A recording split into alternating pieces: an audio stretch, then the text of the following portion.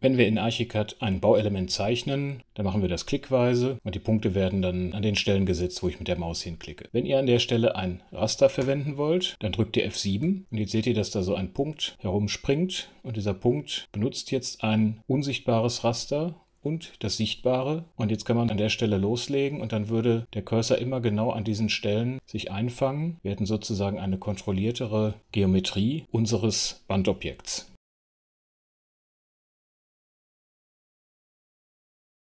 Wir haben hier ein Raster, was wir sehen. Es gibt ein unsichtbares, feinmaschigeres Unterraster und es gibt die Möglichkeit, dieses Einfangen ein- und auszuschalten. Ein- und ausschalten machen wir mit F7 und das Rastersystem sichtbar und unsichtbar machen wir mit F8. Bevor ich jetzt zeige, wie man das Raster für sich einstellen oder ändern kann, zeige ich noch, was es mit diesem Rasterfang auf sich hat. Wenn ich jetzt den Rasterfang anschalte, dann zeichnet Archicad von vornherein die Wand.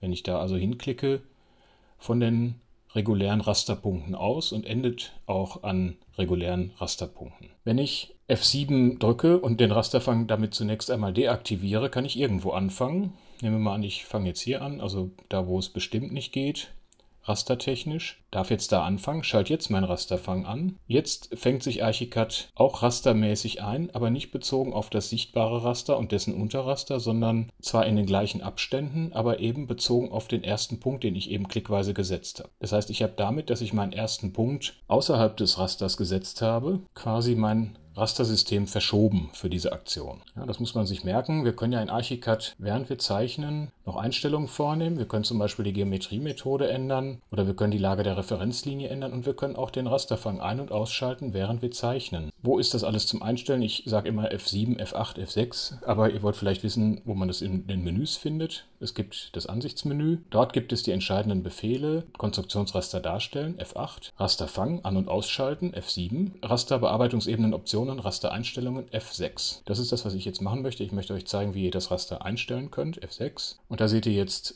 Konstruktionsraster anzeigen, Raster drehen. Das sind sozusagen Optionen, die ihr hier auch nochmal wählen könnt. Aber was jetzt wichtiger ist, denn eigentlich braucht man das nicht hier über dieses Fenster zu regeln, sind die Maße. Wir haben hier das große Raster, das was man hier sieht. Und da kann man den Abstand einstellen und die Schritte. Was sind Schritte, zeige ich gleich. Und es gibt das Fangraster. Also die beiden sind jetzt ganz wichtig und aufeinander bezogen, denn das ist das, was wir sehen. Und das ist das, was darunter liegt, was feinmaschiger ist, was eben dieser Punkt war, den wir da beim Zeichnen gesehen haben, der immer von Stelle zu Stelle gesprungen ist, das war dieses Fangraster. Das Fangraster hat 25 cm im Quadrat als Modul und das Konstruktionsraster hat 1 Meter, ist also viermal so groß. Ich kann jetzt auch Archicad dazu bringen, dass es sich nur am Konstruktionsraster einfängt. Ich kann aber auch eben die Standardlösung verwenden, dass es sich sowohl am Konstruktionsraster als auch am Fangraster einfängt. Jetzt steht hier noch Stoßen, das zeige ich gleich noch, was das bedeutet.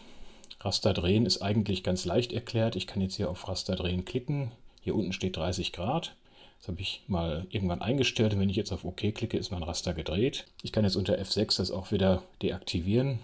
Dann ist es wieder gerade. Jetzt noch das Nebenraster. Was hat es damit auf sich? Wenn ich hier 0,25 eingestellt habe für ein Nebenraster und hier die Schrittzahl auf 1 erhöhe, dann seht ihr, dass da in der Vorschau so ein Bandraster zu sehen ist. Also wir haben hier immer das Konstruktionsraster, einmal 1 Meter, daneben 25 cm und dann wieder das Konstruktionsraster. Und das geht in beide Richtungen, also in beiden Achsrichtungen, weil ich das hier so eingestellt habe. Die Schrittzahl gibt die Anzahl dieser Rasterbänder vor. Wenn ich jetzt hier 2 hinschreibe, dann bekomme ich zwei dieser Bänder nebeneinander. Und wenn ich das hier mache, natürlich auch.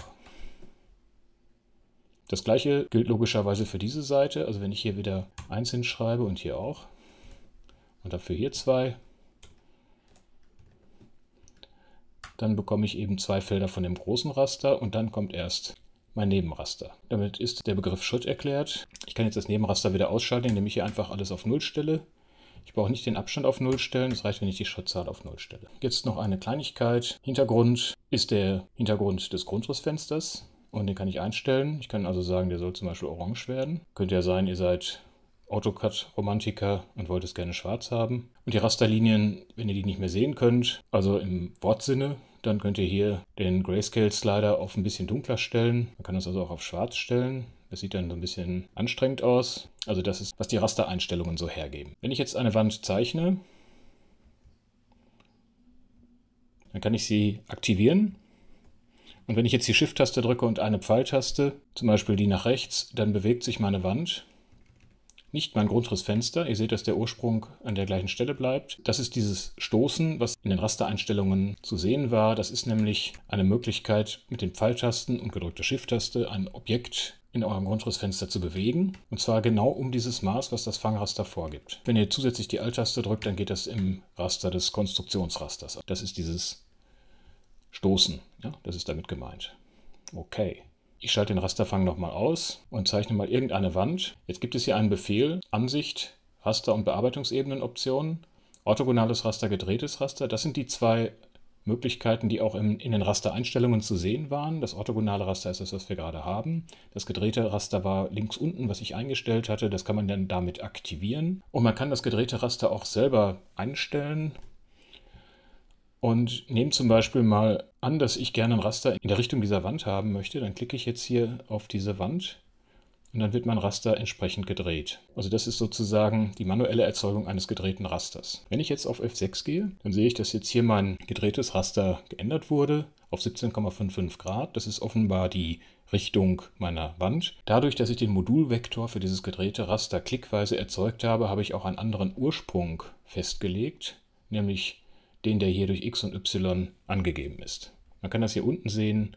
Der Ursprung ist also nicht da, wo der eigentliche Koordinatenursprung meiner Archicad-Projektdatei ist, sondern der ist etwas versetzt. Das ist das globale Raster, was ich über F6 einstellen kann. Jetzt komme ich noch zu dem anderen System, was ich ganz am Anfang genannt hatte. Man kann auch lokale eigene Koordinatensysteme, die räumlich begrenzt sind, definieren. Das Ganze geht mit dem Planungswerkzeug Rasterelement. Ich benutze das selber sehr selten, deswegen habe ich es in meiner eigenen Werkzeugpalette nicht mit drin. Es ist aber ein Werkzeug, was zur Verfügung steht in Archicad und ihr könnt es zum Beispiel über diesen Menübefehl Planung Planungswerkzeuge aufrufen wenn es nicht in eurer Werkzeugpalette zu finden ist. Ich möchte das jetzt aber gar nicht so machen. Ich möchte euch eigentlich was anderes zeigen, nämlich wie man dieses Raster-Element-Werkzeug benutzen kann, um damit sofort ein Stützen- und Trägersystem zu erzeugen. Das mache ich jetzt mit dem Befehl Planung Rastersystem.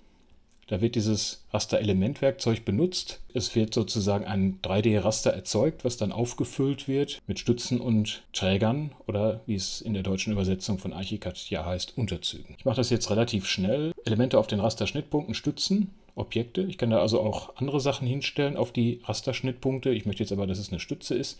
Ich kann dann hier sagen, welche Stütze. Ich lasse die jetzt mal so eingestellt, wie es ist. Nur hier unten die Ebene ist jetzt falsch. Stützen, so. Jetzt nehme ich als zweites Standard-Unterzüge auf den Rasterlinien. Da kann ich jetzt bei diesem orthogonalen Raster, was ich jetzt machen werde, nur gerade Unterzüge benutzen. Deswegen ist das hier ausgegraut. Ich kann auch hier auf Einstellungen gehen. Da ist auch die Ebene falsch. Jetzt nehme ich auch erstmal die erstbeste Einstellung für den Unterzug. Jetzt habe ich also gesagt, dass auf den Schnittpunkten Stützen stehen sollen und auf den Rasterlinien sollen Unterzüge sein. Ich möchte auch, dass es Maßlinien gibt und ein Komplettmaß. Das kann man dann alles einstellen. Das sind Beschriftungs- und Marker-Einstellungen. Aber was ich noch hier einstellen kann, ist, in welchen Abständen denn dieses Raster ist und wie viele Linien ich dann habe. Also ich kann das Raster beliebig ausweiten, indem ich hier immer noch mehr Rasterlinien einfüge. Ich kann wieder welche löschen und ich kann vor allen Dingen auch den Abstand ändern. Ich lasse jetzt aber alles so, wie es ist. Jetzt klicke ich einfach mal auf OK und jetzt kommt hier so ein Gitter und jetzt kann ich irgendwo hinklicken und nochmal klicken und dann seht ihr schon, jetzt habe ich da so ein Stützenraster mit Unterzügen.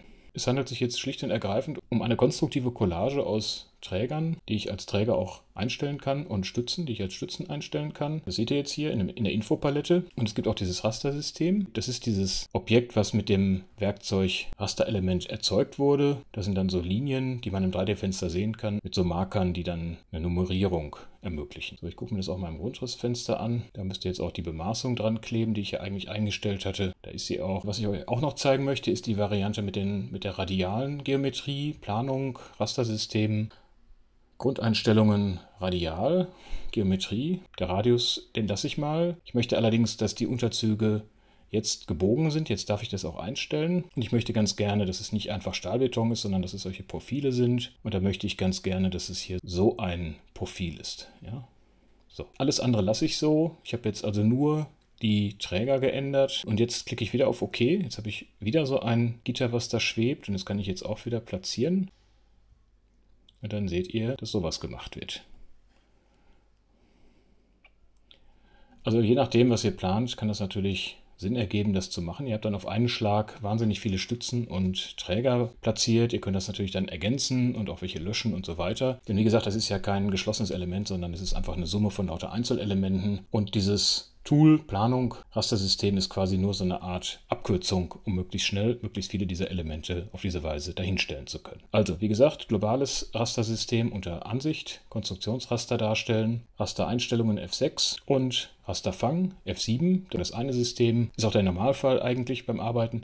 Und es gibt noch diese lokalen Untersysteme, die sich mit dem Werkzeug Rasterelement oder eben mit dem Befehl Planung Rastersystem erzeugen lassen.